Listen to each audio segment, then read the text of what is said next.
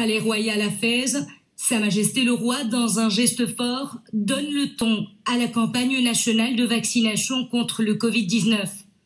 Le souverain donne l'exemple en recevant la première dose du vaccin contre le Covid-19. Conformément aux hautes instructions de Sa Majesté le Roi, la campagne de vaccination est gratuite pour tous les citoyens marocains et résidents âgés de 17 ans et plus. Cette campagne vaccinale d'envergure est à la hauteur de l'espoir placé dans le vaccin anti-Covid-19. Immuniser toutes les composantes du peuple marocain. 30 millions pour vacciner à peu près 80% de la population.